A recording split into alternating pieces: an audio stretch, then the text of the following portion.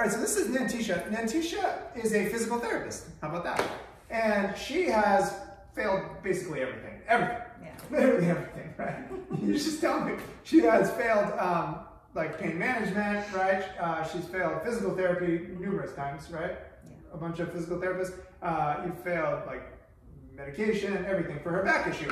And um, she can no longer work now. Think about going out on disability, right? Because of this back issue. So she said she's, she's been following me on social media for about a year and just realized that I actually lived about an hour away from my clinic's an hour away from her. And I wanted to do this video to show what it was and then how how I'm gonna get this better, okay? So um, your, let's see, so the other day you came in and your pain was where? Um, here and then the left side going down. Okay, so she had pain, she had pain right, right around her SI joint, right on the left side, right? And then she had pain coming down her leg that stopped at the knee, okay? And then you also had, you had pain here too, right? Yeah, in the middle as well. in the middle too, and then down in, down into here, right? You have Yeah. buttock pain, right? So when I look at that, I, look- she had an MRI, and her MRI showed that she had herniated discs. Okay, a lot of people have herniated discs. Okay, so um, what I had her do was extend back, right? So I had her extend back, and at some point you said, "Ow, that hurts," right? And you, so she said that it hurts right here. Okay, it hurts in here, hurts down here, and then it hurts down down the leg.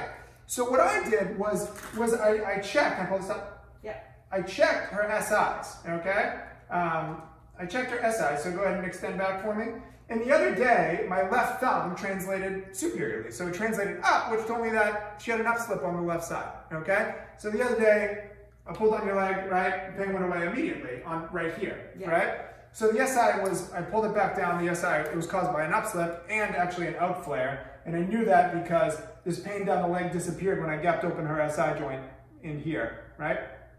Yeah. So when I created an inflare, the pain in the leg went away. So it was caught, so she had an SI joint dysfunction that was being caused by an upslip out flare. Okay.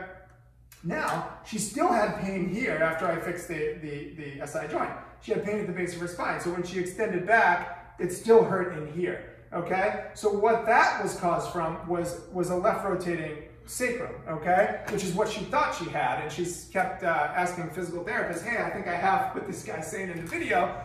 But nobody checked for it and nobody looked at it, okay? Um, so it rotates to the left like this. So what I did was I pushed on the right inferior lateral angle and rotated it back, okay? And then immediately she stood up and she had no pain, right? The other day?